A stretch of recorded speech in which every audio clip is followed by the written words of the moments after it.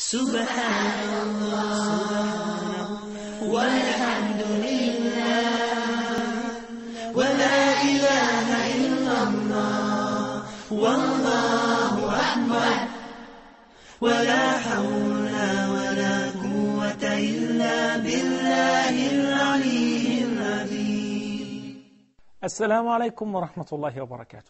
And welcome to a new episode of Islam Unveiled. In the name of Allah, the Beneficent, the Most Merciful. Praise be to Allah alone, and may the best peace and blessings be upon Prophet Muhammad, peace be upon him, and all the prophets and messengers of God. Brothers and sisters everywhere, and my beloved brothers here in the studio, I greet you with the greeting of Islam. Assalamu alaikum wa rahmatullahi wa barakatuh. In the previous episode, one of our uh, beloved uh, brothers asked a question about uh, how should be the nature of the relationship between Muslims and non-Muslims. How should Muslims treat uh, non-Muslims, whether they are fellow citizens, neighbors, or living abroad? We did uh, answer in a little bit, and we promise to broaden the answer in the following episode. And we're here to fulfill this promise right now. Where we dedicated this episode to speak about tolerance in Islam, religious tolerance in Islam. Since the very beginning of Islam, Islam taught its followers to respect the beliefs of others. And that's stemming from the very fact that Allah created every human being with the free will to choose. That's why you might find within the same household some people who may accept faith and some people who may reject it. And Muslims would not force their relatives or those who are under their guardianship or their fellow citizens or their neighbors to adopt their faith. Because Allah the Almighty stated in the Quran in several positions. For instance, in one place, Allah the Almighty told His Prophet Muhammad, peace be upon him, إِنَّكَ لَا تَهْدِي مَنْ أَحْبَبْتَ وَلَكِنَّ اللَّهَ يَهْدِي مَنْ يَشَاءُ You guide not those whom you love. It is only Allah who guides whomever He wills. So guidance and accepting the truth and believing in the oneness of God is a gift from God. If the person shows willingness, then Allah the Almighty would facilitate accepting guidance for him. But if somebody does not believe, he does not want to accept the fact that God is one. He doesn't want to comply with His command. Belief, as we stated since the very first episode, is a submission. That when you say, I am a Muslim, that declares that you're willing to comply and implement the commands of God on earth. So it is not just a word to be said by the mouth or to utter to be uttered by the tongue. It has uh, requirements and responsibilities to be fulfilled. That's why Allah made it very clear. In the second chapter of the Quran, and by now everybody knows the second chapter of the Quran is called Al-Baqarah. In a beautiful verse, He said, لا إكراه في الدين. There should not be any compulsion in religion. Why? قد تبين الرشد من الغي. Righteousness has become very clear and obvious and distinct from uh, wickedness, from disbelief. Whomsoever chooses to be rightly guided, he is holding and grasping on a trustworthy handle. And this matter is a matter of choice. So Allah teaches us in the Quran that you cannot force anyone to accept faith or belief. As a matter of fact, in Surah Yunus, Yunus is one of the names of the prophets who's mentioned in the Quran in verse number 99. Allah the Almighty says, وَلَوْ شَاءَ رَبُّكَ لَآمَنَ مَنْ فِي الْأَرْضِ كُلُّهُمْ جَمِيعًا If your Lord willed, all of those who are on earth, all mankind would have accepted faith and became Muslims. But this is the quality of giving human beings the free will, the choice. He gave them the flashlight. He gave them the guidance. He said, وَهَدَيْنَاهُ النَّجْدَيْنِ We showed mankind the two ways, the good and the bad. Then it is your call. But based on your call, you bear the consequences. You're responsible for your choice. Then he addressed Prophet Muhammad, peace be upon him, by saying, أَفَأَنْتَ تُكْرِهُ النَّاسَ حَتَّى يَكُونُوا مُؤْمِنِينَ Will you then, O Muhammad, peace be upon him, compel mankind in order to accept faith? You're not required to do that. It is very interesting to know that from among the family of Prophet Muhammad, peace be upon him, some of those who did not accept Islam. his own uncle. Some who were neutral. He neither accepted Islam nor did he oppose Prophet Muhammad or deny his message, such as Abu Talib. As a matter of fact, he was supporting him, but he died without accepting faith. On the other hand, there was another uncle who opposed him from day one. He rather believed in idols and he worshipped idols. So, we are commanded to deliver the message of God in a peaceful way. And we're not responsible for people's choice. You cannot force anyone to accept faith. It is a matter of belief. And belief is only concerned with the heart. And you cannot control people's hearts. It is only Allah subhanahu wa ta'ala who does so. Accordingly, it is very important to remember altogether some of the events from the very beginning of the Muslim Ummah indicating and showing and proving how Islam taught tolerance and respect to others' beliefs. For instance, when Prophet Muhammad, peace upon him, migrated to Al-Madinah, and now there is a Muslim state, and he had powerful followers who were all soldiers, carrying swords and willing to fight. He defeated the enemies who came all the way from Mecca to attack them in Medina.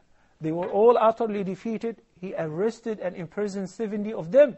So that means now they had some sort of power and strength. He could have expelled the Jews from day one from Al-Madinah, whom we stated that they happened to be living in Al-Madinah uh, at the same time. Yet Prophet Muhammad, peace be upon him, did not do that. Instead, he welcomed them. And he established treaties with them, treaties of respect, of respecting each other's faith, not forcing any of them to accept Islam or to enter Islam. They work freely, they worship freely, they maintain their synagogues and everything. Until they violated the treaties. One of the articles of the treaties was to defend Al-Madinah, the city in which Muslims and Jews were all living together in, against enemies. So they did not only violate the treaty by not supporting Muslims against their enemies, rather, they paid the enemies in order to attack Al-Madinah. And while Muslims were on the front yard fighting the enemies, they happened to attack Muslims, the weak and women, inside in Medina. Not only that, once again, they made several attempts to assassinate Prophet Muhammad, peace be upon him. As a result of that, they had been forced to leave Al-Medina. They did not leave Al-Madinah or they were not asked to depart, to depart Al-Madinah on account of disbelief or polytheism or because of being Jews. No, not at all. As a matter of fact, we need to remember the statement of a Jewish rabbi, a former Jewish rabbi, who accepted Islam later on, whose name is Abdullah ibn Salam. He said, when Muhammad, peace be upon him, came to Al-Madinah, I was amongst the first to rush to see him. Because they have read in their books, in the Old Testament, uh, the prophecies of the appearance of the last prophet in the city of the date palm trees. And that's why they migrated to Al-Madinah initially. So when he have seen him, he said, Once I laid my eyes on his face, I recognized that he is a man of the truth. And he's not a liar. He's got to be the prophet. And among the very first words that I heard from him was, أيها الناس أفشوا السلام وأطعموا الطعام وصلوا بالليل والناس نيام تدخلوا جنة ربكم بسلام. He said, among us what I heard first from this man, from Muhammad, peace be upon him, was, he said, O people, spread peace. Spread the message of peace, the greeting of peace. The greeting of Islam is, peace be with you. Spread the greeting of peace. Feed the poor. And pray at night while people are asleep. If you do that, you shall enter the heaven of your Lord, paradise, safely. تدخلوا جنة ربكم بسلام. So that was the message of Prophet Muhammad from the beginning. A delegation of the Christians from Najran, a neighborhood, they came, they visited with the Prophet ﷺ in Medina. He hosted them in his own mosque for a few days, he fed them, he honored them, and he offered them his message. And he showed them the revelation from God. By the end of the story, they did not accept Islam. and nobody was hurt. They left peacefully, safely, and nobody was forced to accept Islam. So this is very important to understand. Many people like to propagate the idea of a holy war and that Muslims are commanded to spread Islam by the uh, sword or Islam was spread by the sword. But history proves otherwise. History proves that Islam entered most of the countries, most of the world, without fight. Islam in Malaysia, Indonesia, and Pakistan, and India, and those countries entered via the way that Muslims dealt as merchants with non-Muslims who happen to be following various types of religions and faith and belief. They dealt with Muslims. They liked the idea of monotheism. Muslims were true representatives of Islam, so accordingly they were inclined into accepting Islam. And now, while Muslims are weak with regards to military forces and, uh, and, and armed forces, yet Islam is still widespread to the point that Islam is the fastest growing religion on earth. So if the theory that Islam was spread by the sword was true, then it was supposed to be the opposite. Since Muslims are very weak in power, don't have the military which is capable to attack and invade other countries, or even defend themselves, that supposedly that we should see more Muslims departing Islam into other religions, but the fact proves that more and more and more people coming from every other religion and entering Islam singles and in groups. In the United States of America, in the most advanced country, where I wouldn't say that we're paying any person money or giving him food or assistance or tempting them with any worldly gain in order to accept Islam, Muslims are entering Islam on daily basis more than anywhere else, more than in Africa itself. There is more to talk about tolerance in Islam after the short break, so please stay tuned.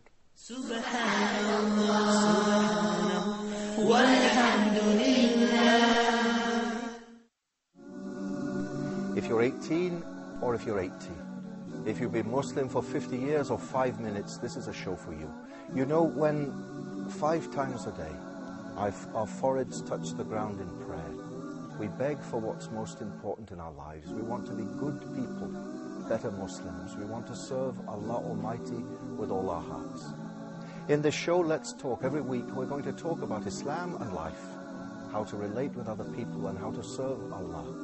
We'll have studio guests, we'll have a live studio audience, there'll be a, an email for you to write to, talk at huda.tv. So if you're looking for something different, looking for something that will make you think, maybe even touch your heart, this is the show for you.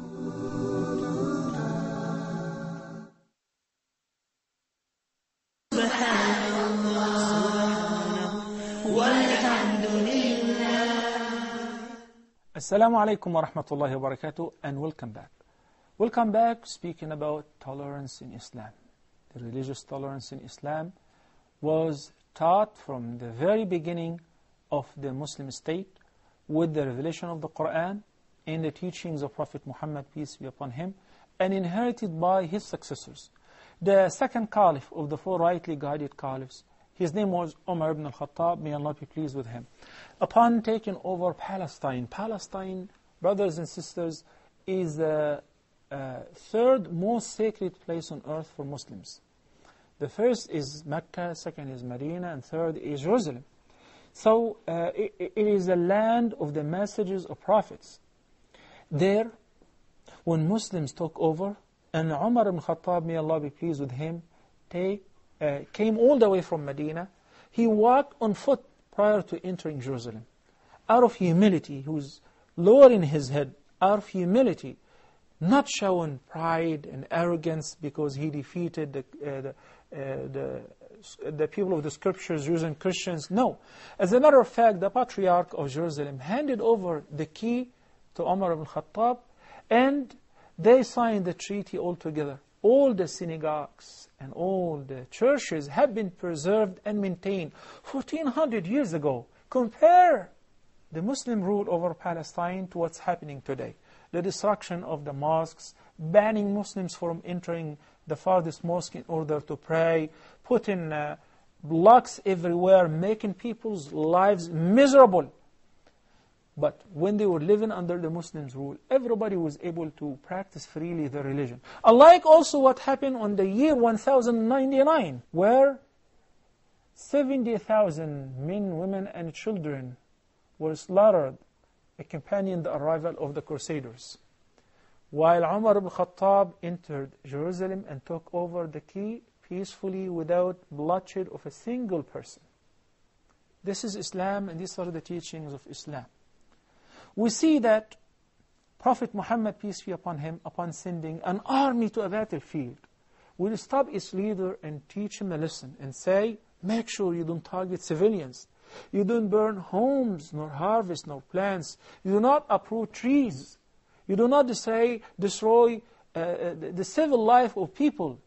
And if you find worshippers in places of worship, do not target them. The places of worship have been preserved and maintained all over the Muslim countries after Islam have been taken over until today, which is written as the best indication that Islam is a tolerant religion. It does not force anybody to change their faith. In Egypt, for instance, till today, there are places of worship which have been there even before Islam have entered by Umar, by Amr ibn al-As to Egypt, which indicates that Muslims did not force the Copts nor the Christians to change their faith, nor religion, which is a great indication that tolerance is a basic foundation uh, in Islam. Uh, I think somebody has a question? Assalamu alaikum. Wa alaikum assalam wa rahmatullahi wa My name is uh, Khalid. I am from Bosnia. I have a question. What do you think of banning minarets in Switzerland? Uh, should Muslims not react the same? I, I, think and I believe, really, this is a very uh, valid and important question. And since you, your name is Khalid, right? You said you're from Bosnia. So you have lived the horror of uh, the genocide which had been taking place by the Crusaders, as I would call it the Crusaders in Bosnia. Uh, in the modern uh, age, we have seen hundreds of thousands of Muslims who have been massacred, women who have been raped by the Crusaders in the modern age. Uh, and the media was watching and covering all of that as the best indication that this is the practice of other religions, not Islam. One thing I wanted to, uh, to refer to before answering question, which is the phrase, the holy war, which the media, the Western media in particular, like to um, label uh, Islamists with. They say that they call for a holy war. The Quran calls its followers for a holy war to fight non-Muslims to make them accept Islam. And uh, it is very amazing, it is nowhere in the entire Quran where it says a holy war. Then when we searched in history and you go back to uh, references in dictionaries, we found out that the, the phrase and the term holy war was coined first by the Crusaders themselves. When they encouraged the soldiers to fight against Muslims in Palestine and kill them in order to enter paradise. So the price for entering paradise was to kill a Muslim or to kill as many Muslims as possible. Now, with banning the minarets in Switzerland, I find it very strange, and it really shows that how intolerant those people are towards others, especially when you know that when we hear minarets, minarets, minarets, we think that there are hundreds of thousands of minarets. But in fact, there are only four minarets all over the country. And those four minarets seem to be annoying uh, the right wing big time. They cannot sleep because of those symbols of Islam, just four minarets. Imagine if Muslims, for instance, in a country like Egypt, where there are thousands of uh, minarets for uh, churches, have decided to react with the same. Um, the Christian population in Egypt is less than uh, 5%, uh, according to uh, the latest survey.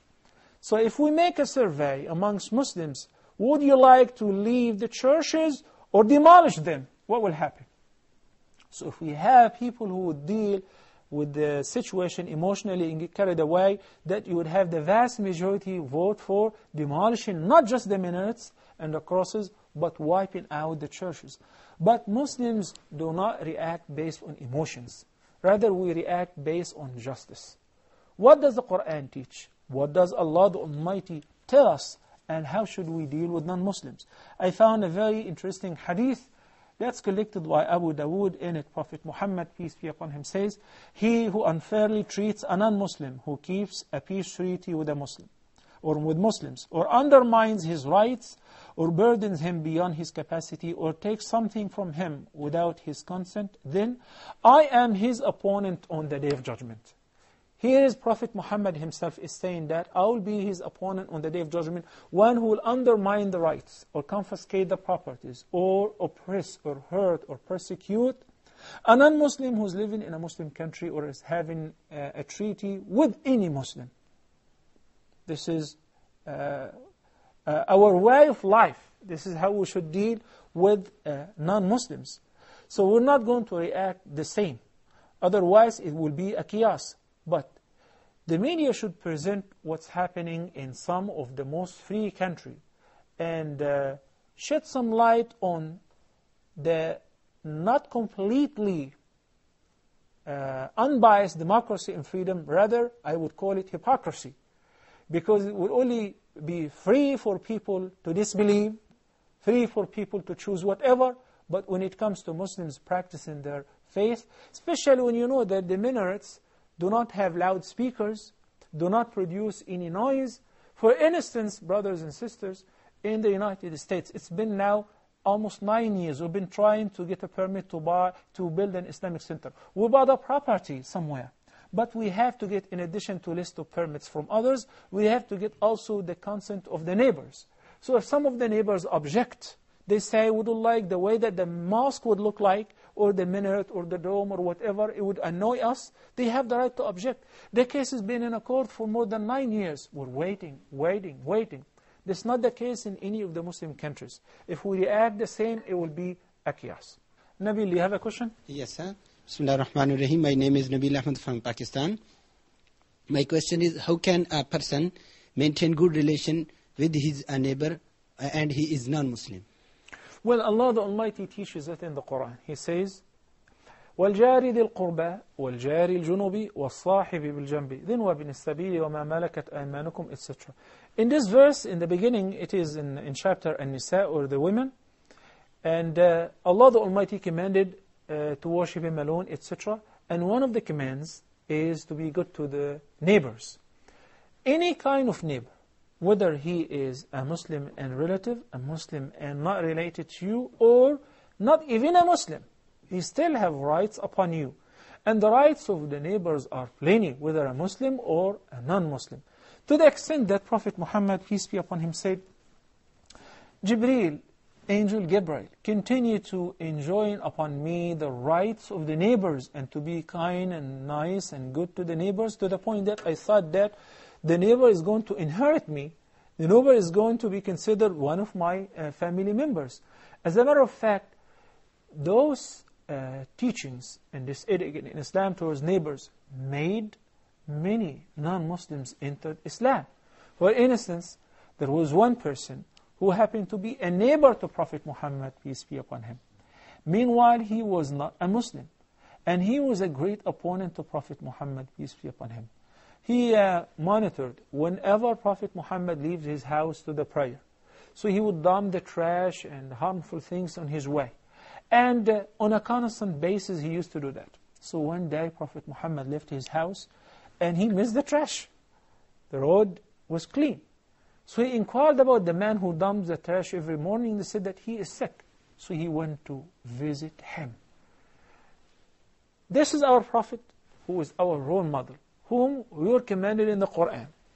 In the verse 21st of Surah Al-Ahzab, chapter Al-Ahzab, where Allah the Almighty says, لَقَدْ كَانَ لَكُمْ فِي رَسُولِ اللَّهِ أُسْوَةٌ حَسَنَةٌ لِمَنْ كَانَ يَرْجُو اللَّهَ وَالْيَوْمَ الْآخِرَةِ وَذَكَرَ اللَّهَ كَثِيرًا And that verse means, indeed, in the messenger of Allah, Muhammad, peace be upon him, for you, for the believers, is the best example and the role model to be followed for those who believe in Allah and the last day and remember Allah much.